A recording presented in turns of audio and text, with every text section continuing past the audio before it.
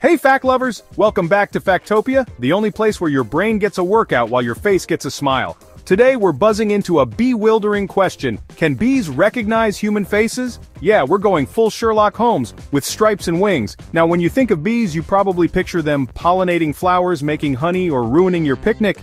But here's the twist. Scientists discovered that these tiny insects might actually be better at face recognition than your phone after a software update.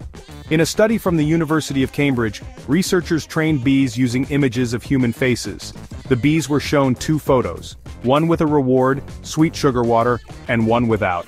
After just a few tries, the bees learned to fly directly to the correct face. That's right, they remembered and recognized it. This is even crazier when you realize bees only have around 1 million neurons in their brains. Compare that to our human brain, which has about 86 billion. And yet these little buzzers can still tell you apart from your neighbor, who definitely stole your Amazon package last week. So how do they do it? Turns out, bees process facial features as patterns, like spacing between eyes, nose, and mouth, kind of like how early facial recognition software worked.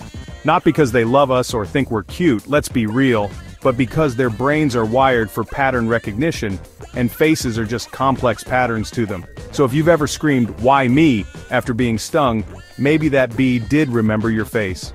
And you owe them five bucks from last summer. So there you have it.